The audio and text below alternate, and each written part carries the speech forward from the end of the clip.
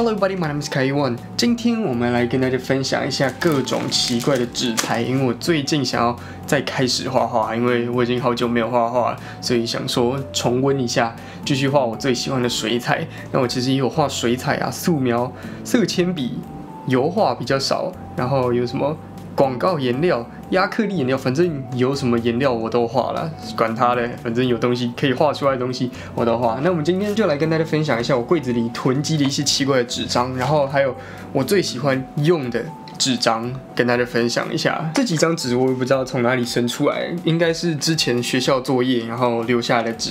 那这几张呢都是涂布纸，所以它的表面呢都有一点光滑，所以你只要看到表面很光滑、很平整的，那都是涂布纸。它的特色就是它不喜欢吸水，所以画水彩的话，理论上是不会用到这些纸啦，除非你是要画一些油性的颜料，什么奇异笔啊，或者是什么油性的颜料，才会用到这些纸。下一种纸呢，这个就是我们的插画纸，这个我自己是非常喜欢用，因为它便宜，然后又好用，又不会起毛球，像是比较烂的水彩纸。都会起毛球，这个都不会哦，会啦，只是比那烂的水彩纸还要不容易起毛球。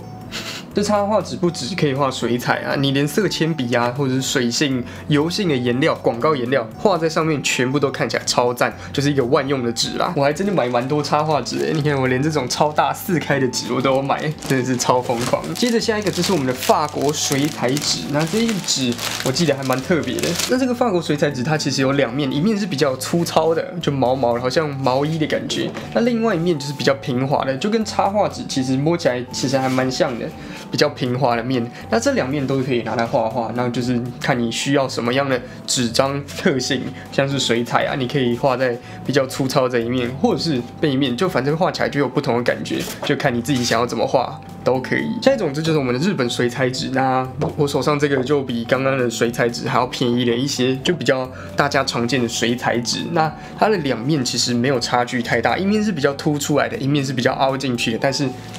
差距没有像刚刚的法国水彩纸这么明显，就是两面差很多。这个没有，反正每一种纸都可以正反面使用，就是看你的眉材呀，你要画的东西到底适合哪一面，还有你想要创作的方式到底是怎么样子来挑选，你要正面还是反面，或者是就随便你用，或者是你可以两面都画画都没差。最后一款我喜欢的纸，这个就是 Fabrino，就是意大利的纸，那它其实还蛮耐操的，真的很耐操。你的水彩你可以一直磨，一直磨，因为像把